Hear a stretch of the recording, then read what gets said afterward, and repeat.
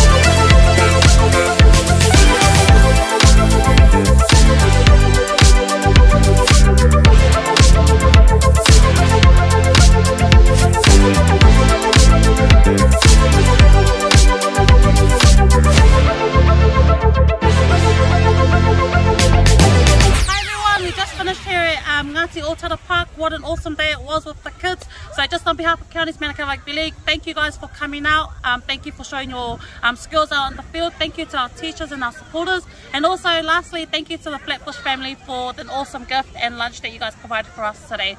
Um, and we'll see you guys in term two for Rugby League.